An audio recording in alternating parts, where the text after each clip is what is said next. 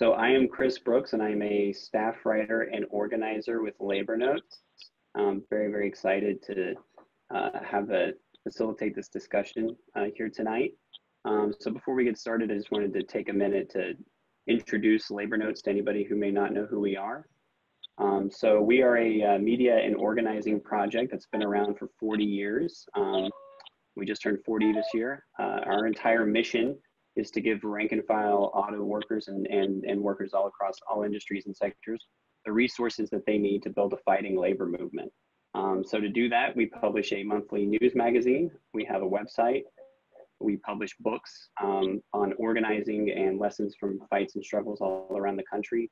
We organize troublemaker schools um, and other conferences, including um, a big national conference every two years. Uh, the next one is coming up April 17th through the 19th in Chicago, um, where you can expect thousands of rank and file workers um, from not just the United States, but even all around the world to come and, and share uh, their uh, inspiring stories and lessons about organizing in the trenches um, and how to fight and win. Um, so we hope that you'll join us there. Um, so to help build out these networks, we also host these webinars on a regular basis. These are opportunities for workers um, to hear from each other, to talk um, through uh, issues that they're facing, and um, to think about how to move forward.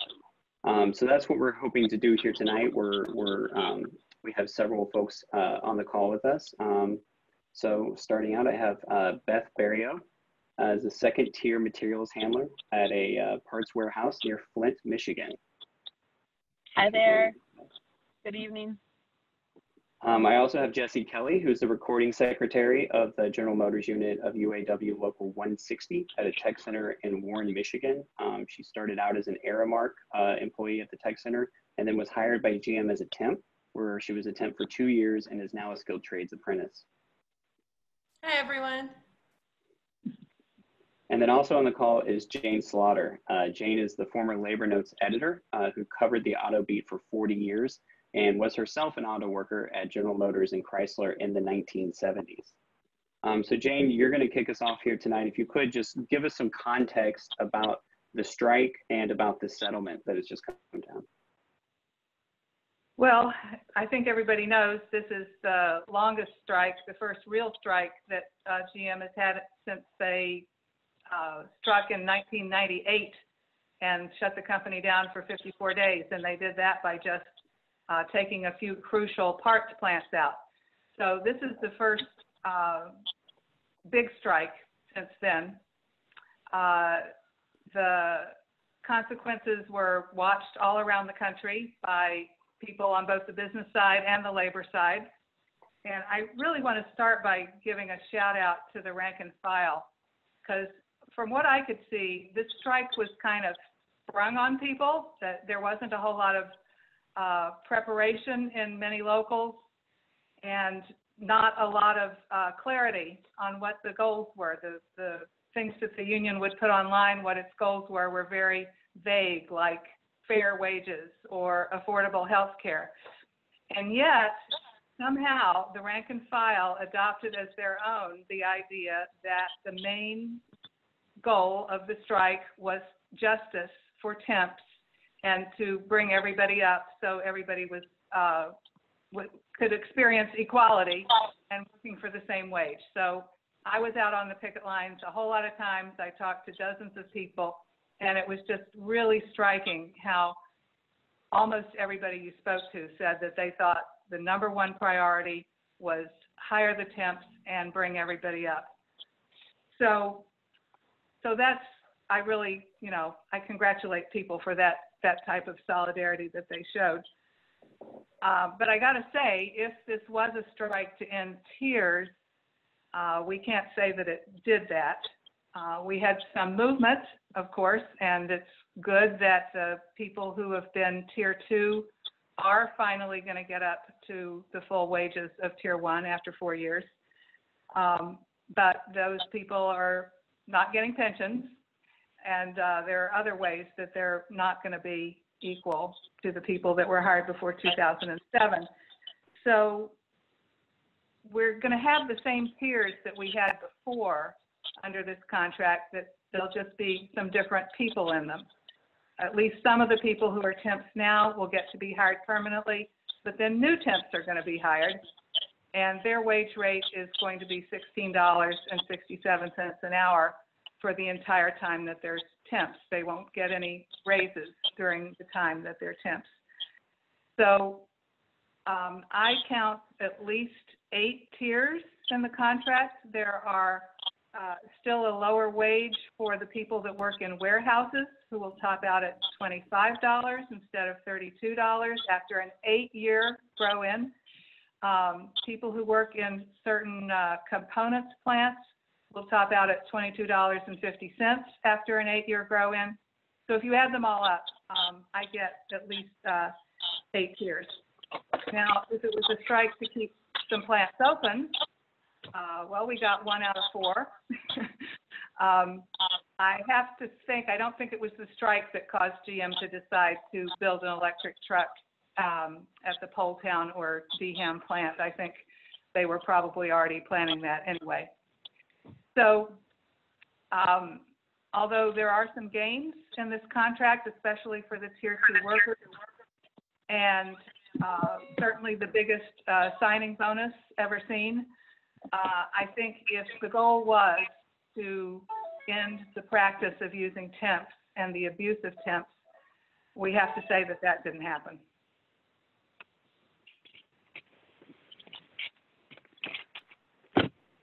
Thank you very much, Jane. Um, all right, so Beth, we're going to go to you. Uh, what are your reflections on the strike, and are you going to vote yes or no for the contract? Hi, thank you. Um, my reflections on the strike are everybody did really come together for the temps and solidarity. Uh, we were already getting, as an in progression employee, we were getting pretty fair wages. Our health care was taken care of. Uh, and based on the 2015 contract, we were already on our way to an eight year uh, maxed out of our wages.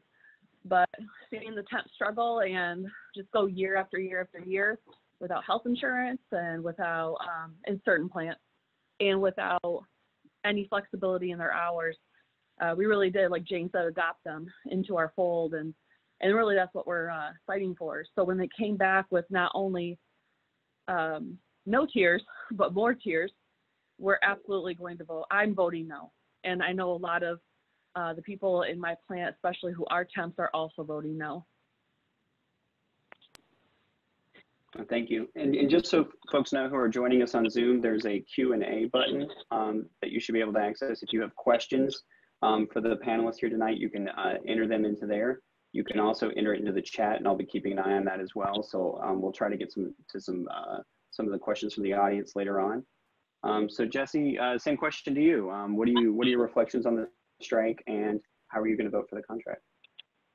My, my reflections on the strike are amazing. The community coming together and the solidarity that was felt on all of those strike lines was insane. Um, I can't even describe it into words. The fact that, you know, temporaries only make up 7% of our corporation and the rest of them, the rest of our corporation was willing to stand for them and really adopt that as one of the core issues and as a sticking point in this negotiations. It was phenomenal, especially because I was a temp for so long. I mean, it, it was just the most empowering feeling in the world. Um, as far as the contract that we have seen, I'm still very much on the fence with it. Um, I see some good, I see a lot of bad, um, and that's an issue.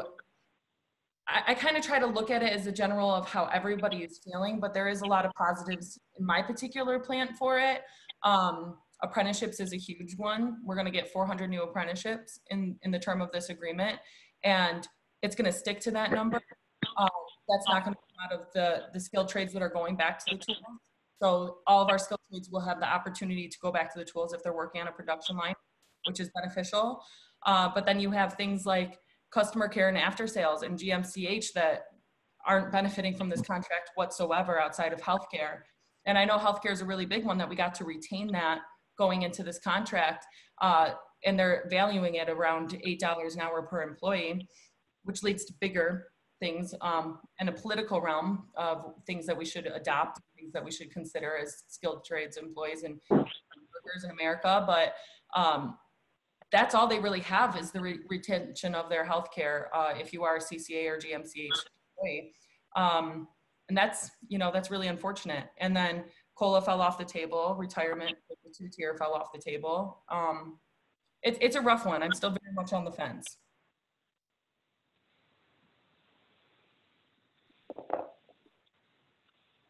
Um, so Beth, you said you would vote no.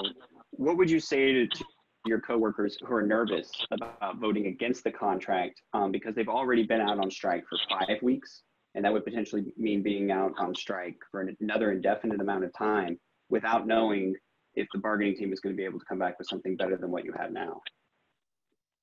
I absolutely get that. I understand the tension of uh, being out on strike and you know living on a lower income.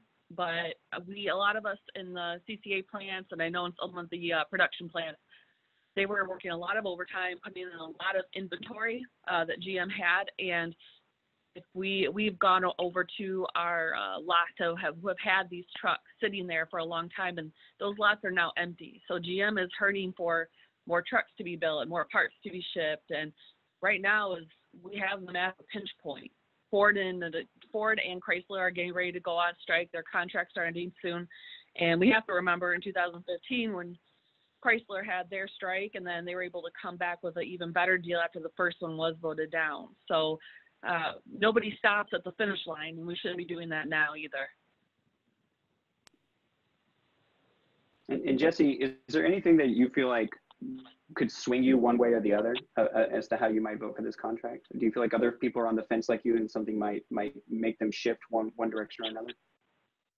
Um, I mean, a lot of things make you make you shift. So for me, it's like point by point. Um, I'm constantly changing inside of my head. I feel like a lot of the people at my site feel exactly the same way uh, because it is about more than us and more than local 160 it's about you know the standard of living in america and so that's what we always want to think about at the end of the day is like is this going to provide a better standard of living for the future generations and that's what we felt like we were out there for um, so there's constantly that that swing shift. And i think that the biggest thing at the end of the day was public opinion um, i don't think my people are fearful of staying out longer on the line. I don't think that they're fearful about the money that they're going to lose.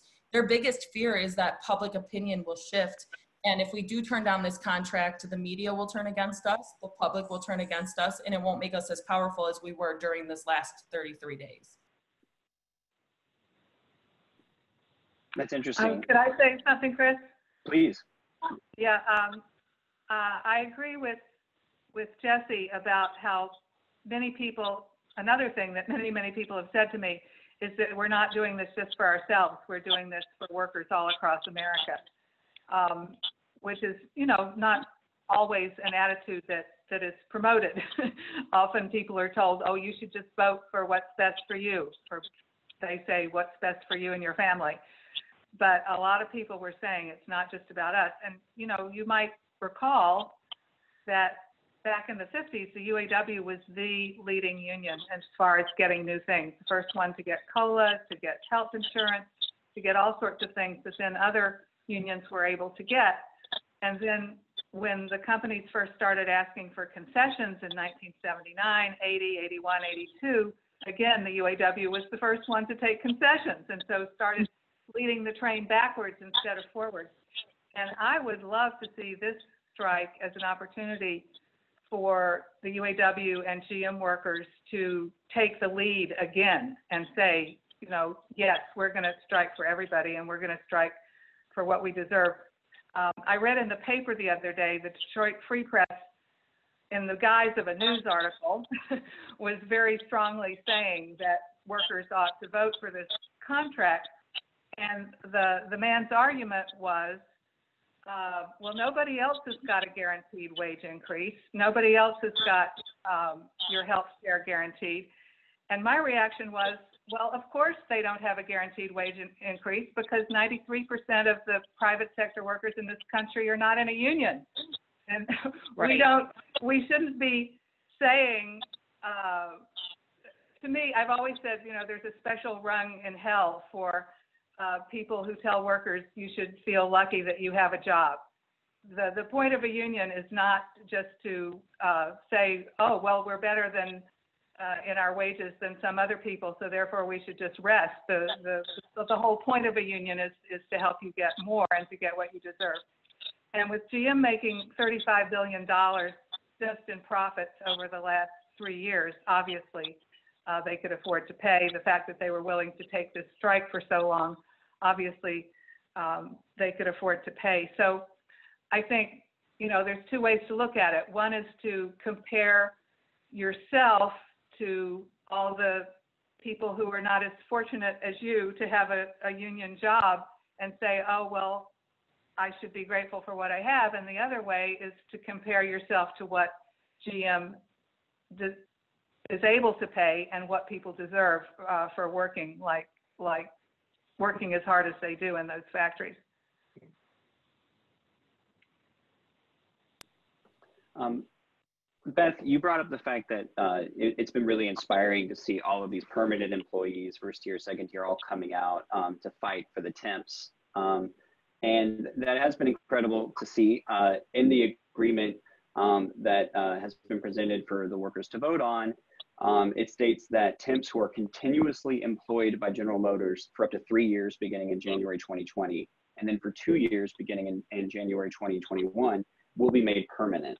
Um, so they define continuous employment as maintaining employment um, for uh, without losing more than 30 days of work. So you could be laid off for up to 30 days over that period of time, two years or three years, and, and, and then be hired on as a permanent employee. Um, should auto workers trust that General Motors won't lay off all these temps for uh, 31 days or more? Do you think that the UAW is going to be able to enforce this? Uh, no, absolutely not. Um, we've seen a lot of things that were promised to us that have been fallen have fallen through with the last couple contracts. I know my plant when we were talking about uh, trades, getting trade apprenticeships, and we were told we were going to get so many of those, and then all of a sudden we have people testing for them and passing the test, and then all of a sudden you just didn't hear about it anymore, and it never came up in my plant at least. Um, I can't recall one single person who was pulled from that apprenticeship program who had passed actually into it, from the testing into the program itself. Um, it seems like a lot of times GM will put either tricky or vague uh, liter- language inside the contract just so they can wiggle around it later. So, uh, especially with the, the raises, we have 52 weeks of work now instead of every year you get a raise. So, if you have a baby, now your um, raise schedule is off by eight weeks. And if you get help, uh, sick or in a car accident or you have a surgery or whatever, your raise now is dependent on weeks worked instead of the calendar date. So I wouldn't trust anything I can uh, put in GM's hands. Yeah, you, you bring up the wiggle room. Um, that reminds me, Jane, uh, isn't it been the case that the United Auto Workers has consistently won language that it says is going to keep the big three from um, being able to offshore uh, more and more jobs to be able to provide greater job security, and yet this hasn't worked? Yes, I think it was starting in 1982 that the union began getting a moratorium on plant closings in every contract. And I believe the first one said, you know, there will be no plant closings. And so what did GM and the other companies do? They said, well, we're just idling this plant. We'll keep a little skeleton crew in there to keep the lights on, but we're idling it. And and they got away with it because they own the plants. and then, as everybody knows, this time their language was uh, not that we're closing the plant, not that we're idling the plant, but we are unallocating four plants. We don't have any product for them. So um, so yeah, I got to go with Beth on the wiggly use of language there. Yeah, and for, and for viewers, for folks to know, in 1979, uh, General Motors employed 475,000 workers in this country. Today, that's less than 50,000. So the decline has been precipitous, um, both for the amount of people employed in the auto sector, but also for the UAW's membership. Um, so, so Jessie, I'm interested to know um, you know, one of the obstacles that rank and file auto workers faced during this strike um, was the massive corruption scandal that has rocked the UAW's upper leadership. Several officials have been indicted, um, and former President Dennis Williams and the current President Gary Jones are under suspicion. Um, so, how has the corruption scandal played out in this strike? Has it had an impact in any way? I think it definitely has an impact. Um, it has an impact in trust with the rank and file compared to the leadership. Uh, it has an impact in the fact that we did spend a lot of our time in this contract negotiations discussing um, the CHR and making sure that that doesn't happen again. Um, and now it has an impact on the fact that a lot of this language is dependent on decisions that are made from our international union and the national parties. So if you feel like you cannot trust your international union and the national parties, you might not feel as good about the contract and the language that's provided in there as if you could trust them. Uh, so it's definitely, definitely has an impact. Um, the biggest impact would be the fact that when the, you know, all the presidents of the subcouncil went down to uh, that council meeting on, I'm forgetting what day, but when they went and voted on the actual tentative agreement, they had to, they were stuck in a, in a corner where they had to keep us out on strike because they had to prove to us that we were going to be the overriding authority on this contract. Mean, if they would have made any other decision than that, I feel like it would have been an automatic no from everybody else. So that now keeps us out a week longer. That's a, a decision I completely appreciate. I'm glad that that was the decision at the end of the day, but it's kind of like in the background of every decision that's been made from here on. Yeah, so it seems like in some ways the strike in itself has has um, reflected the crisis of legitimacy, right, with the UAW leadership. And you mentioned uh, CHR, which is the Center um, for Human Resources, which is the training center, uh, General Motors, which is being dissolved under this agreement. Um, do you feel like that's going to help, um, you know, clean up the union a little bit moving forward? I, I think that it has to. Um, I think the fact is that those two, like those two funds are going to be created instead of the joint fund, and that at the end of the day, management's going to have complete control over those funds. So any decision that's made from the joint parties, uh, management would actually be the one physically taking that money out now. It's going to have to clean it up, which is very beneficial. But the fact that we even had to get here is a little alarming. so Jane, you know, there have been many attempts over the years at reforming the United Auto Workers, um, the New Directions movement, uh, Jerry Tucker's short stint as the director for UAW Region 5, and of course, Auto Workers Caravan.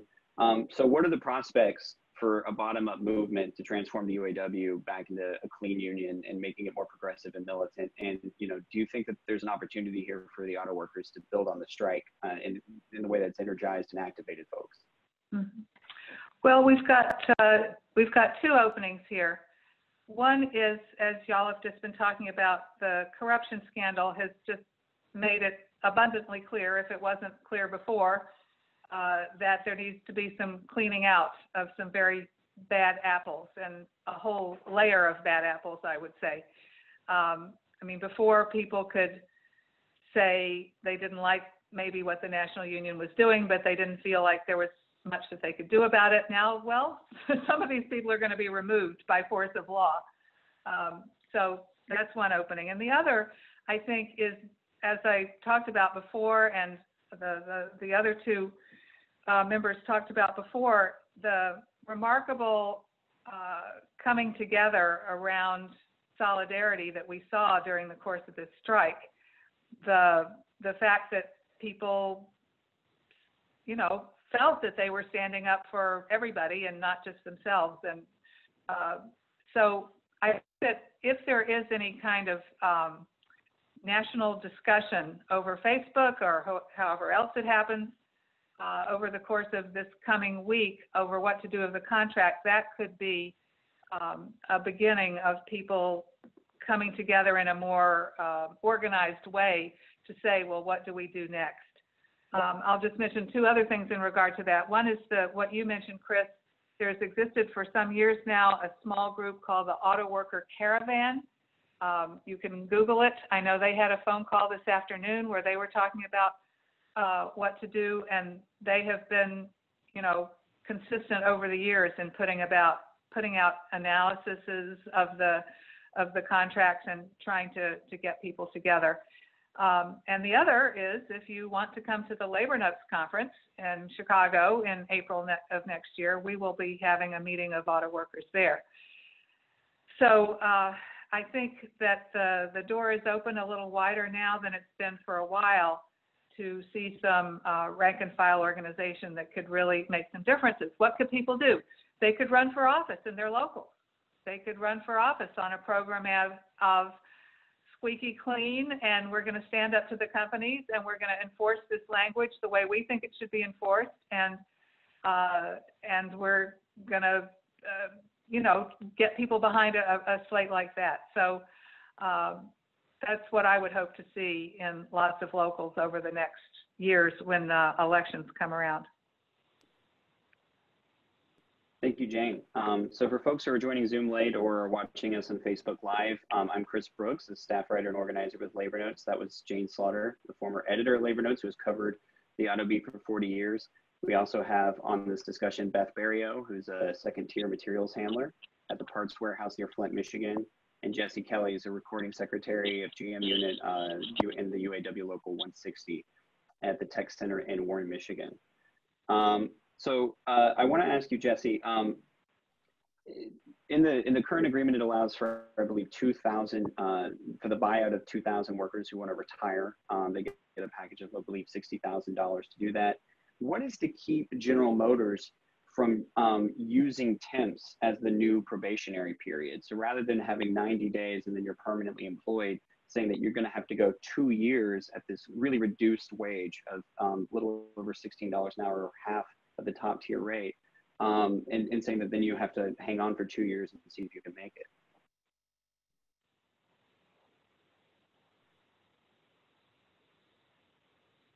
So they're saying that um, the one of their biggest wins in this temporary language is the fact that um, the international union and, and the national parties um, are going to have like full control over temporary language. So at the rollout meetings, I'm sure everyone's going to hear this a little bit that, um, you know, they cleaned up the language, they gave you a path to permanent employment.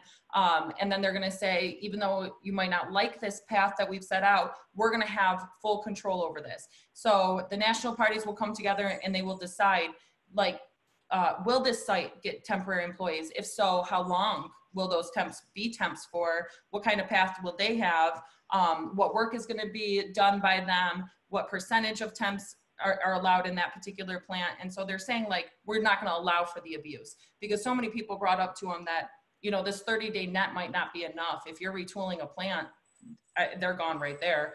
Um, so they're saying this 30 day net is not enough. And they're, they're putting their, their cards on the fact that, you know, we, we have full control over this now and then that leads back to to trust in um, your leadership and that's what i mean about you know the scandal too is that if you have full control what are you going to do with that full control you hope that they're going to do the right thing and that it's you know it's what they bargained for and it is as good as they're selling it right now. So you, you hope that they're going to say okay if we see them playing games with temporary employees or we see that they're trying to use it to make us competitive against other locals or other sites um, then you know we're going to stop them from being able to have access to the temps.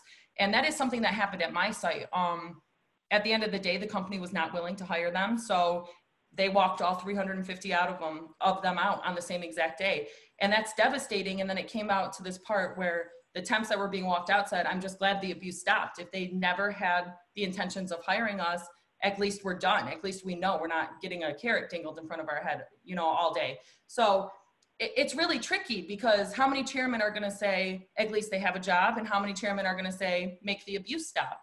And there's no answer to bethany what do you think about that i think it's absolutely right. Um, the fact that the contract even had temps in it was an immediate no for me just because of the fact of you have the temps and you say you're going to control that control the percentage. Well they said that last time. They say at every union meeting they say we're going to try and use it as a bargaining chip to get more hired in so we can do these other things. But unless there's specific language that says there we are not going to have temps 90 days you're hired in regardless then it's still an abuse and you're just sharpening the knife for them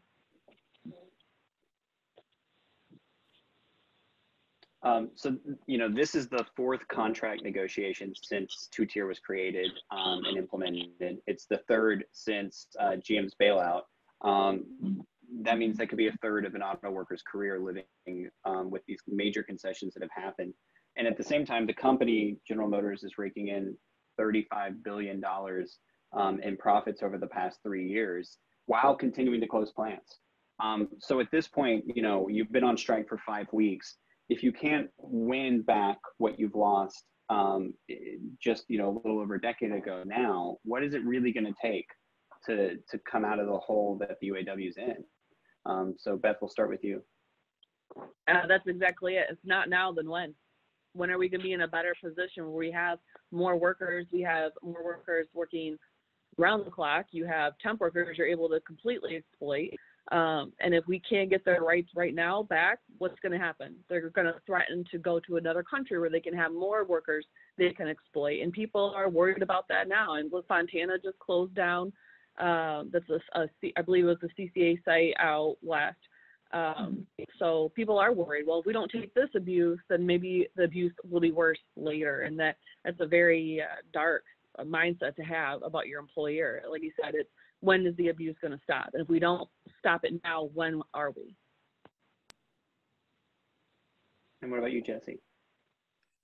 I mean, that's that's a hard question because um, I agree with her when she says, if not now, when? Uh, and we know that we're shifting into an electrical vehicle and autonomous vehicle market. So the profits aren't going to be there in four years from now. And when it is time to, to um, you know go over a new contract and we go we get pulled out on strike. We don't have that in the back of our and you know in the back of our media. And we don't have that argument that they're a multi-billion dollar corporation.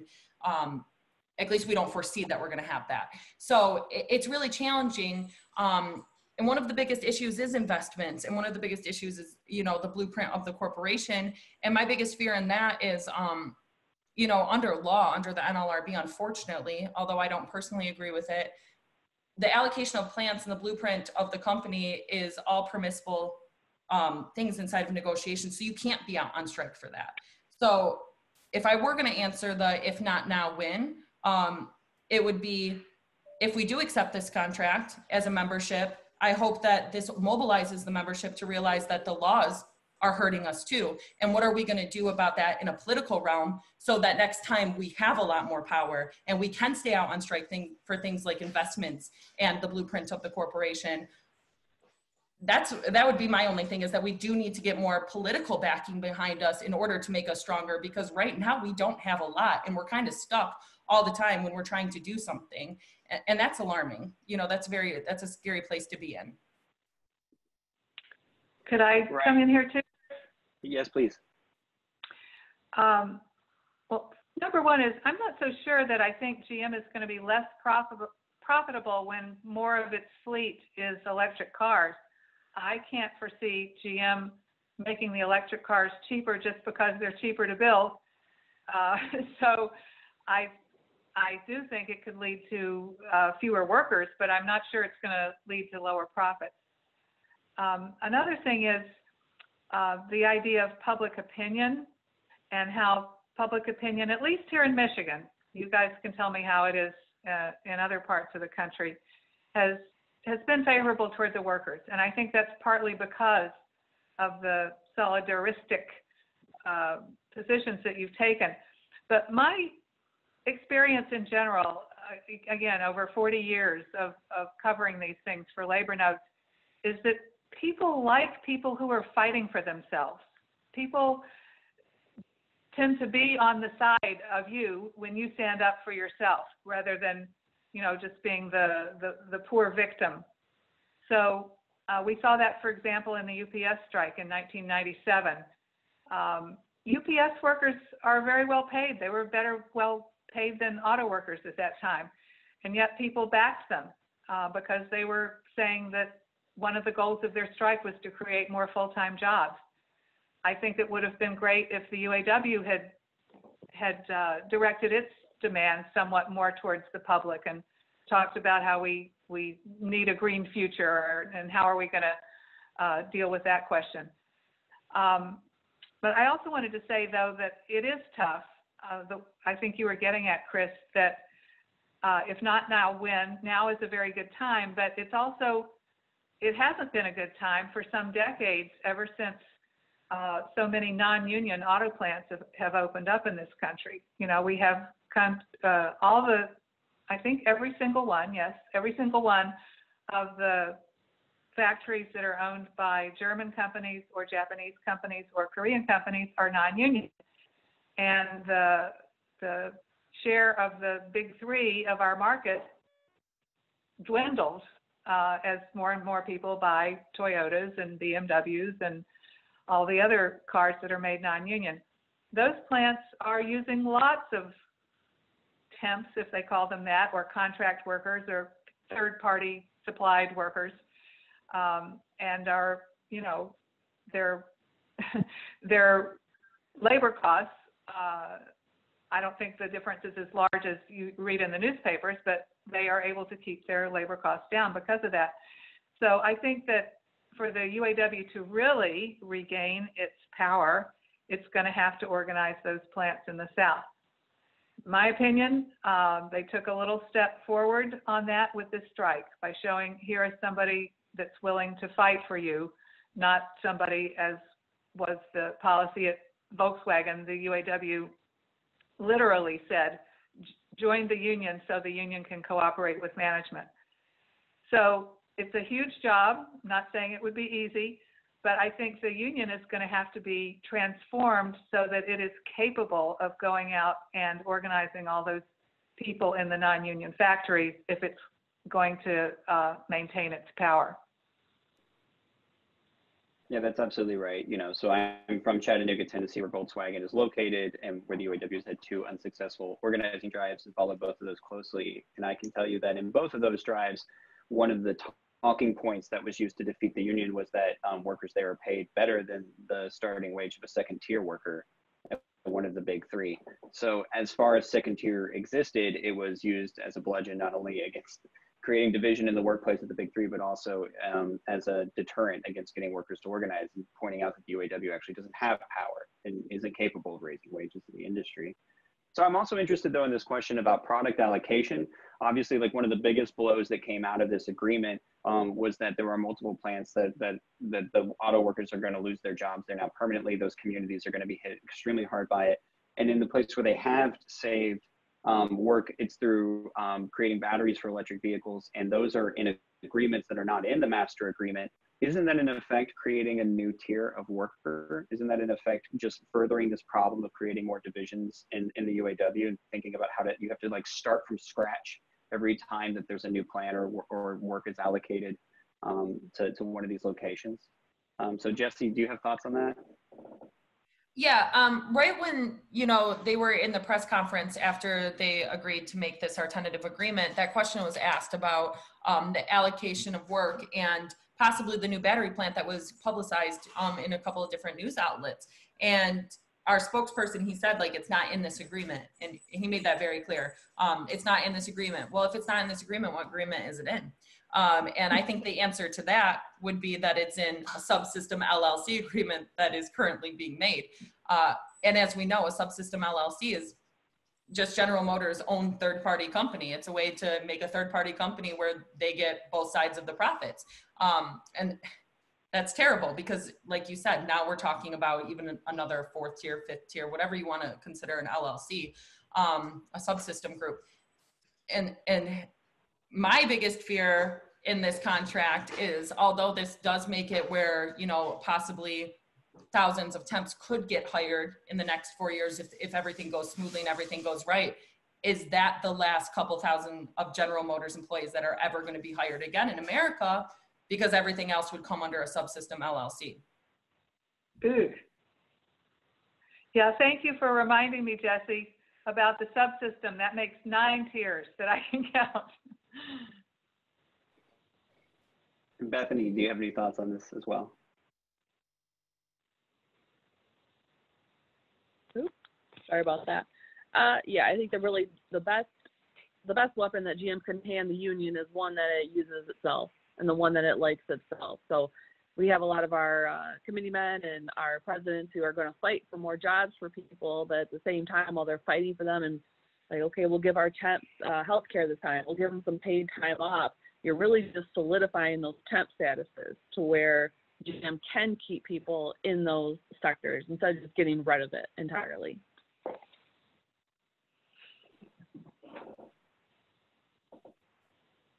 Um, so I, on that, on the question of the battery plant in Ohio, Chris, uh, I read that it's been talked about the starting wage there being seventeen dollars, and that that's one reason that they didn't want to put it in the contract.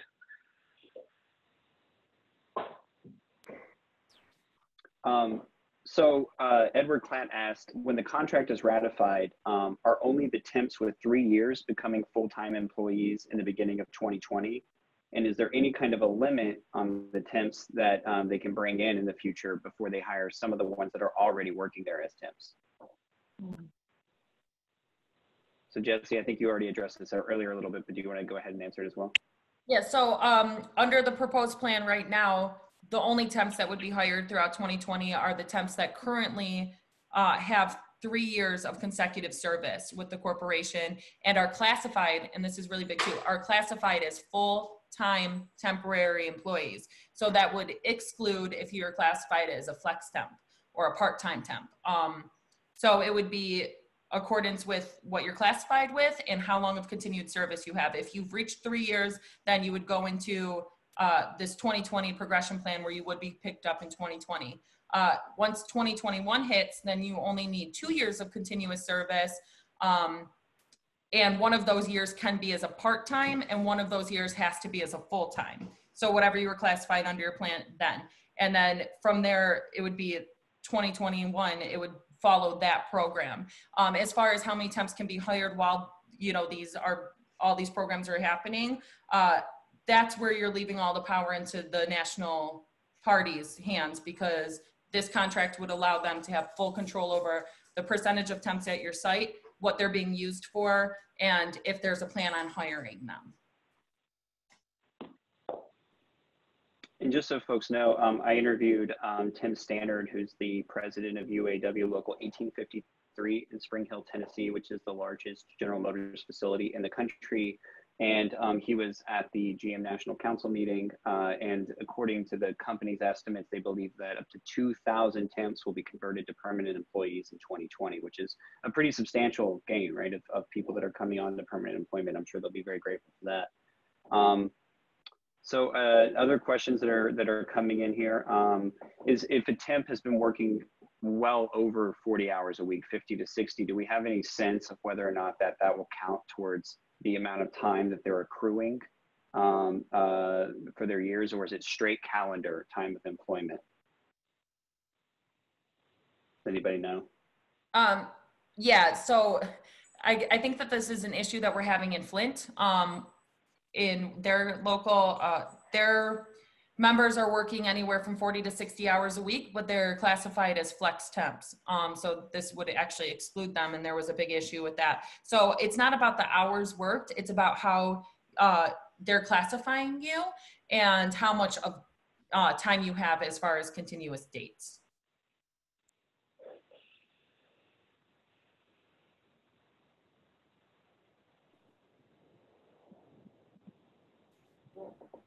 Great. And and then um, so can you um, one of you explain the differences between the retirement that is being provided to, to first tier versus second tier workers in this contract? Like pensions versus no pensions. Yes. So so first tier workers have a pension, second tier have a 401k, and and are there contributions being made to either of those? Um, so anyone that has a pension currently, so, um, you know, they fell into line where they, where they currently have a pension. I think it's anyone that was hired before 2007. Um, they get a one-time thousand dollars in that's uh, into their 401k plan, and then our 401k for anybody that was hired after that stays exactly the same, and that's where they match you. And Bethany, in your plant, don't they have something called a flex temp? Can you explain what those are? Yeah, we uh, currently have flex temps. Uh, well, now that we're on strike, we don't. But uh, while we were working, yes, we had flex temps who were hired in for different reasons. Uh, a lot of times, some pe- people will go on surgeries or vacations uh, during the summer, especially your higher seniority employees. So they'll bring in flex temps to work a minimum uh, and, and sometimes a maximum of 32 hours for that week. A lot of times uh, they'll just fill in for the weeks that people are on vacation, or if we need them more on the weekends, they'll work them Friday, Saturday, Sunday, Monday. Uh, they're not considered full time. They can only work eight hours per day, even if we're on mandatory 10, 11 hour shifts. Hmm. And um, recently, over the summer, they're still considered flex temps, but they've been working more than 40 hours a week. Uh, they're able, to volunteer for higher hours. We have people who are working 70 hours a week, staying over as much as possible, but they're still considered flex temps because they were never moved to full temp status. And Bethany, does, does this contract impact them in any way? Are they, um, are they impacted by the, the conversion system that's set up? I believe that the flex temps, uh, to be able to be hired in in 2020 and 2021, you have to have so many years of service as a full temp. So they would have to, that path for them could be up to five years. And I believe that they actually, uh, their wage is very different. Right now, they come in at 15 something an hour and yearly they'll get raises. But now they're coming in as at a flat rate. I believe it's around 16, 17 dollars an hour, and that doesn't change until they're hired in.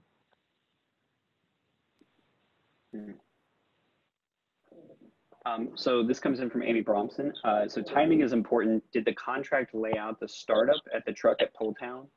Um, it would take at least a year to convert and tool up. Also, was there a time frame for putting on apprentices? And in the 1990s, you know, GM one third of the promised apprentices were put on the, the last three months of the contract, and many were laid off one month after the new contract. Hmm. So I don't know if either either one of you um, has responses to that. Um, I can talk a little bit. Uh, it is going to take about a year to retool Pol, um, Poletown. That is correct. Um, but as far as the apprenticeships go, this is a major gain inside of, this cu- current contract that I really, really liked. Um, this is on the good side of the list.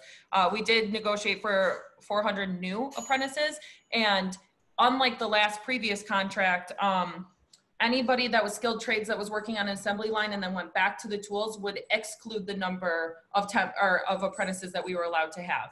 So in this one, when they say 400 new apprentices, it's 400 new apprentices, and that number is not going to be dwindled down by people that are on a production line and going back to their tools. So we will have to get that. And there's a new way to become an apprentice, which I think is fantastic. We're adopting um, Ford and Chrysler's version of an apprenticeship where you actually have to take four college classes and it's not done by an outside third party vendor anymore. So the four college classes would put you on what's considered a Stark list. And um, as long as you get an 80%, you can go into an engineering building. A 75% or higher in your schooling would put you into a manufacturing building.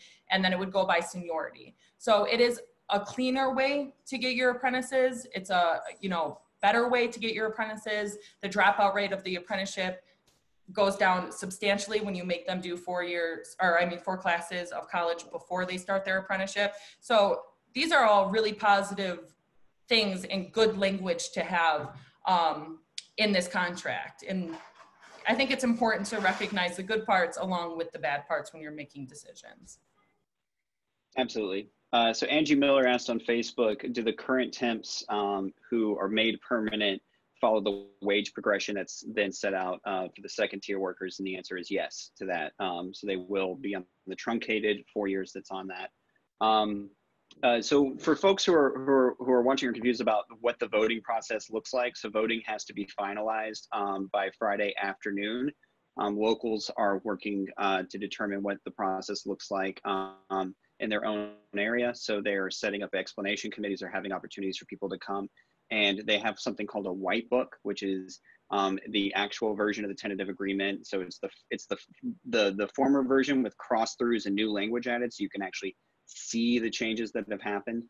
Those are made available. They're also online. I've seen them circulating in some places for folks. Um, so the, the votes are happening as we speak. Some are voting today, some are voting later this week. People are trying to make their decision about this. Um, so Jane, you know, one last question I have for you kind of historically is, um, it seems like, you know, so we're, we're having a lot of conversations rightfully about temps and tiers and, and product allocation, but it's been kind of shocking to see um, all of the things that it seems like the UAW has lost that even, that aren't even brought up at all this time around. Um, I'm thinking, for example, like COLA, like you brought up earlier. What are some of those things that are kind of missing from the current discussion that we would have to get back thinking about, you know, for the future? What would it look like for, for the auto workers to gain what they lost even just 20 years ago? Mhm. Well, they'll never make up all the money that they lost by the concessions starting in 2007, but of course concessions actually started in 1979. Uh, and actually, Chris, I did hear these from people on the line. They weren't part of the union's uh, official uh, demands that they were putting forward, which, as I mentioned, were sort of vague. But people would said, "What about our cola? Uh, what about getting pensions for the people in second tier?" This was, you know, never on the table. Um, oh, there are things that have been gone so long I can hardly remember them anymore, but people still remember. Um, so, so people would say things like, "We should get back everything we gave up." Well, that was not on the table, unfortunately.